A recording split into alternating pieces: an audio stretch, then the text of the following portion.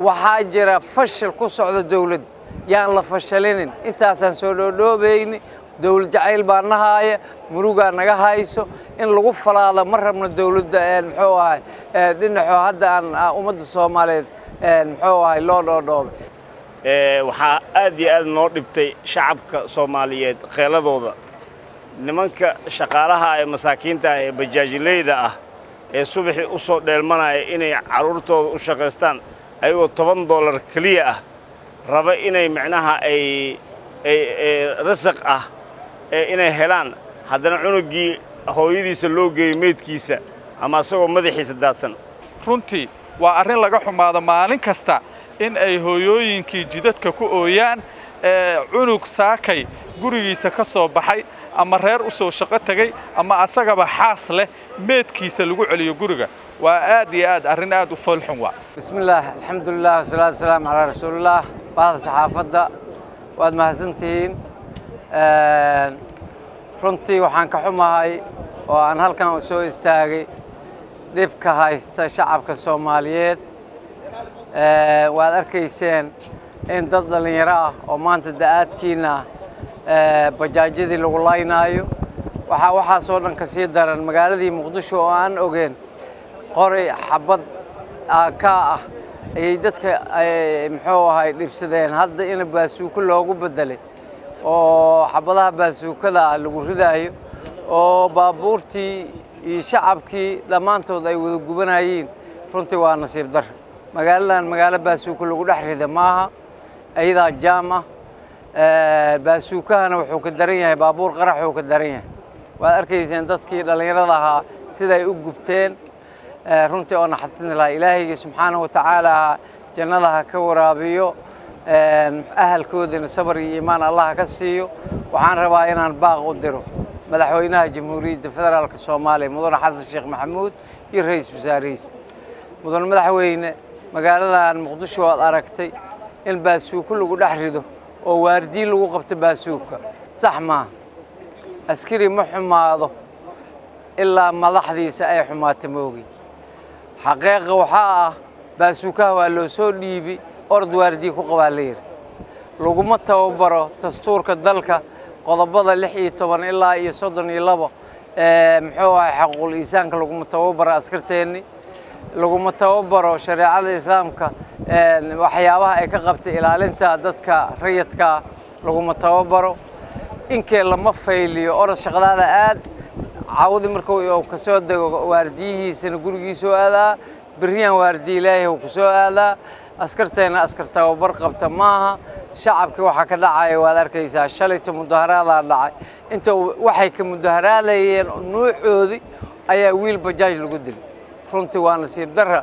Boqolkii toddobaatan dalkan waa dhallinyaro dhallinyaradii haddii dhib loo geysto ayagoo awal shaqo la'aan ay jirtay ayagoo awal muxuu ahaayeen bajaajkan aad arkaysaan qoysas dhammaa dabka ku shito in maalin walba canug toban doolarka raadinaya bajaaj oo reerkiisa ku biisho inuu muxuu ahay geeridiisii loo soo sheego wallaahi wax laga naxawaa mudan madaxweyne arrintaas wax ka qabo.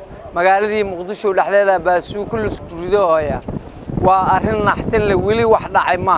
In magaalada cadowga muxuu ahay ay baabuur miine ku qarxiyaan oo tii sooba iyo muxuu ahay sooba one iyo sooba two oo kale ay dhacdo waa wax la garto oo cadow aan la dagaalamayno oo aan dagaal kula jirno waay.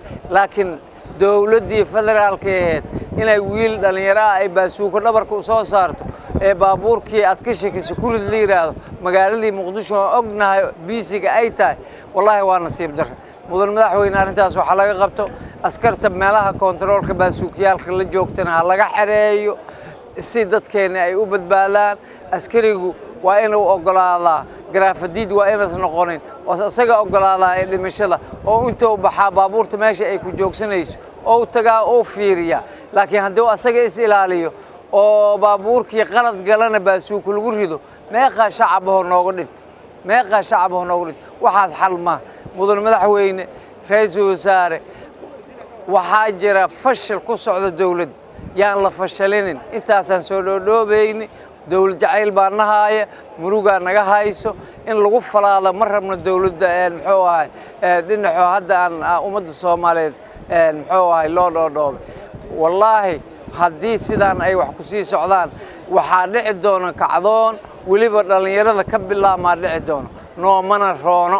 Aad iyo aad baad u mahadsantihiin. Asalaamu calaykum waraxmatullaahi wabarakaatu bismi illaahi raxmaan raxiim aad iyo aad waxaan ugu xumahay dilalka badan ee magaalada muqdisho ku soo kordhay ee arxandarada ah ee ay ciidamada dawladda iyo ay geysanayaan iyo degmooyinka qaarkood laga geysanayo. Waxaa aad iyo aad noo dhibtay shacabka soomaaliyeed kheeladooda nimanka shaqaalaha ee masaakiinta ah ee bajaajileyda ah ee subaxii u soo dheelmanaya inay carruurtooda u shaqaystaan ayagoo toban dollar keliya ah raba inay micnaha ay rasaq ah inay helaan. Haddana cunuggii hooyadiisa loo geeyo meydkiisa ama asagoo madaxiisa daadsan. Waa aragteen daraad wixii ka dhacay degmada siinaay xaafadda siinaay in gabar iyo wiil bajaaj wataan gabadhana ay ahayd gabar markaas jaamacad dhammaysay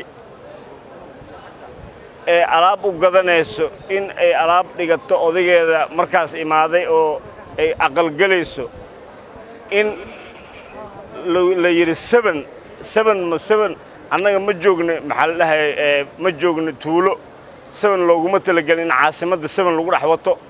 Nabad sugid inay seben qaadatane meelay ee buugga kaga yaalana ma naqaano sababtoo ah nabad sugid waxaa loogu talagalay xuuraan keliya inay wax xuuraansato laakiin inay dad ku layso jagboyntiyadane arrintaas ma qabo.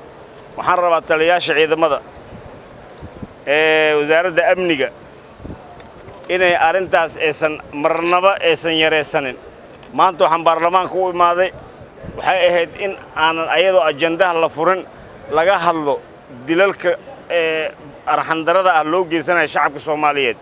Aadaan ugu xunnahay haddaan baarlamaan ahaannahay waa ka xunnahay. Ma oggolaan doonno kalfadhiga ugu soo horreeya ee aan fadhiisanaana arrintaas. Ka falanqaynaynaa taliyayaasha ciidamada loo yeeri doonaa biidnillaahi kariim nin kasta waxa alla wuxuu ka qabo. Waxaan rabnaa in aan arrintaas xakimeenno inaysan dhicin dilalkaasoo kale. Ciidamadana waxaan ka codsanaa ciidamadu shacabkii aad xukumayseen oo aad ilaalinayseen oo ahaayeen dadkii idinka ee idinku jiifan lahaa hadday maanta idinka idinka cabsadaan ama ay idinka ay idinka walwalaan dhibaatadeeday leedahay. Waxaan dawladda ka codsanahaa ciidamada in la baaro dhiigagooda. Wixii daroogiistayaal ah meel dhaqantoosina lagu xareeyay laakiin nin daroogiista ah wadda la istaajiye qora loo dhiibay cidduu doonuu dilaa. Fadlan taliyayaasha ciidamada waxaan ka codsanaynaa in dhiigagooda la ogaado nimankaas waddooyinka taagan dadka muqaadaraadka isticmaala inay ka ilaaliyaan inaysan shacabka ku ammaanaynin annaga haddaan baarlamaan ahaan nahay arrintaas kama harayno ballan waaye inaan shacabka insha allah biidni illaahi kariim xukuumadda mar labaad mar saddexaad mar afraad waxaan leenahay arrintaas yaan loo yaraysanin ra'iisul wasaarow madaxweynow arrintaas arrin very dangerous oo khatar waaye ummaddan ha la badbaadiyo ummaddan ha la badbaadiyaan dhihi lahaa bismi illahi raxmaan raxiim dhammaan saxaafaddu waa mahadsan tahay. Waa runtii inaa lillahi wa ilayhi raajicuun. Maalmahan maalmahan waxaa aad u soo batay dhimashada iyo dilka waddooyinka magaalada muqdisho. Amnigana runtii aad iyo aad ayuu u xumaaday oo xitaa mas'uuliyiin baa la weeraray waxyaabo soo laalaabtay ayay noqotay runtii. Arrintaasna in in ay fududaato waxaa suurtogeliyey qofkii mas'uuliyaddii lagu aaminay ee loo dhiibay hubkii oo aanan qaada karin mas'uuliyaddii ama ha noqoto in uu muqaadaraad isticmaalay waa muqaadaraadkiioo dalka si xawli ah ku soo gala ee aan runtii go'aan xukuumadeed lagu joojinin haddii ganacsi uu yahay iyo haddii uu si qaldan ku soo galaba iyo muxuu ahaa isla xisaabtanka oo aan aad iyo aad loo fulinin heerkii la rabayna la marsiinin. Saa ogsoon tihiin guddiga amniga gudaha ee baarlamaanka golaha shacabka dhowr jeer ayaa laga codsaday. Xitaa mar waxaa jirta guddoomiyaha uu ku dhawaaqay aadan madoobe ee uu sheegay in la keeno markii guddigii uu ku raacayna haddana wax iska beddeleen oo aan hay'adihii amniga loo yeerin si su'aalo arrintaas la xidhiira oo cilmiyaysan wax looga weydiiyo lanana wadaago talo wax ku ool ah oo ka qayb qaadan karto amniga sugistiisa ka qayb qaadan karto.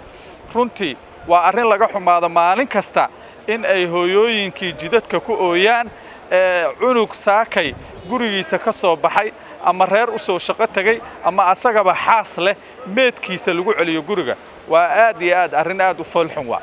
Waxyaabaha runtii maalin waxaa maqlaya sidoo kale in tahriibayaal fara badan ay halkaas ku go'een?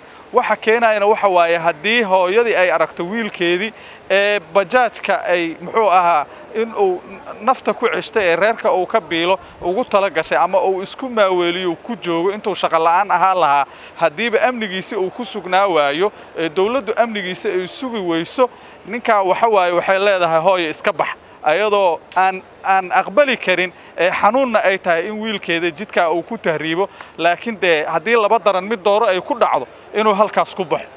Marka waxaan leenahay waa arrin aad iyo aad uga xun. Guddoomiyihii halkaa jidkaas asagoo maraayay seven muxuu ahaa baabuurka lagu soo ridaa ayadana ka war haynaa oo isgooskiiba seven lagu waardiyeynaayo.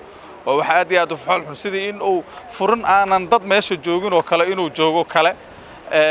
Arrintaa marka annagu waxaan rabnaa in garsoorkuna uu dardar geliyo. Way jiraa inay dadaal ay sameeyeen wax ku ool ah laakiin not enough. Sidoo kale dhaqan xun waxaa jiro soomaalida caadaysteen oo ah reerihiiyaa macaamilay maalin dhaweyt waxaan arkayay qisaas la fuliyey haddana labadii reer intay isku yimideen ay leeyihiin. Annaga waa heshiinay waxaan rabnay inaan aan saas samayno oo diyo kala qaada diyo ma jooji karto. Qur'aanka waxaa lagu sheegay walakum fi lqisaasi xayaat qisaasta ayaa jooji oo nolol ku jirtaaha la dhahay. Ee diyadaa nolol ku jirtaa lama dhihin. Waa way jirtaa laakiin xilli xilli bay xal noqotaa. Xilliyo badanna xal ma noqoto. Xal ma noqon kartaba aslan xilligan oo kale oo dilalkiisaan u soo bateen waxay ahayd garsoorka inuu aad u dardargeliyo qadahiisa. Sidoo kalena ammaanka wax muqaadaraadkan iyo waxyaabahan oo idil oo lala dagaalamo saraakiishana lala xisaabtamo. Haddii sargaal kasta eriyadiisa wax ka dhacaan oo asaga accountable u ahaa lahaa la soo xiri lahaa lala xisaabtami lahaa wuxuu ku baraarugsanaan lahaa shaqadiisuu kormeeri lahaa askartiisana waxyaabaha dhacay ma geysteen. Marka dadweynaha soomaaliyeed ayagana waxaan ugu baaqayaa in ay gartaan waxa ayaga dushooda ah iyo waxa ayaga lagu leeyahay. Ayaga haddii ay mas'uuliyaddooda ka soo baxaan inay gartaan waxyaabaha ayaga ay leeyihiin ee aysan dhicin keliya marka ay qof meesha lagu dilo meeshaana qof lagu dilo keliya inay dhahaan maaha. Amnigooda iyo baraarugooda ayaga naftirkooda qeybay ka yihiin sugista. Waa mahadsantihin salaamu calaykum. Ku soo biir asxaabta c b a t v si aad ugu xirnaatid aragtidaadana nagula wadaag qaybta faallada mahadsanid